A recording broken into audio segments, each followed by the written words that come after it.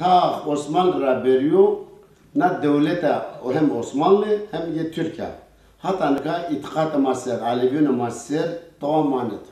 Niye hemen yenik ma ne ma kabul kedme, pir ma Yavuz ma kır kedme, iyi bin verra Mustafa ma kır kedme, hatta ne kanni Erdoğan ma kır kedme, kır kenu yani hatta ne ka tamamen ma kankene yani e, zerre e, tayini yani var o kez sma bon kun dindar ceme bon sma meşti bro yani kavul keme bir işte sma ki Kur'an'ı bu yani namaz kılmış kere yani iyi vazene ki cemevik zey zamiye ama ma vazeme ki itikata ma ki sütürüyor zonu ma ser hatan ka nine manedo brani ada ma kır kırma sevada sen ma va ma Hazreti Eli Beyt mi?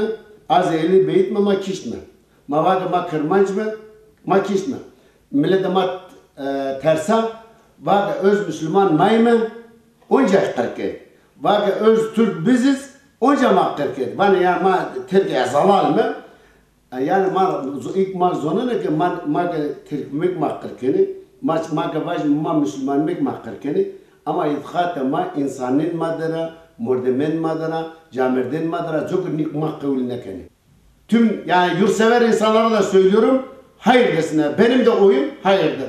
Yani ezik van rehu nedan yine ez vazon ka seveta haştiye, seveta insanın, seveta demokrasi herkes bu ülkede yaşayan her insan özgürce yaşamalı. Kendi dil, ana dili kim olursa bir kişi de olsa resmiyete konulmalıdır. Bir insanın dili Allah vermişse Allah alsın o dili. Yani şey etmeye gerek yok. İnsanlara şekil vermiş her kuş, her e, hayvan kendi dilinden konuşuyorsa bize de Tanrı bize vermişse biz de o Tanrı'nın dilini kaybediyorsak bize de nalet olsun. Yani biz kendi dilimizi bize bu baskı uygulayanlara da nalet olsun. Diyor ki bu dili konuşma.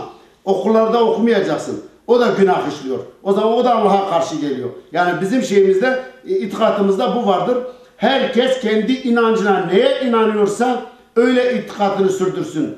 İneğe mi tapıyor, yılana mı tapıyor, taşa mı tapıyor, aya mı, güneşe mi, suya mı? Ama bizde insana tapma var. Hak insandadır.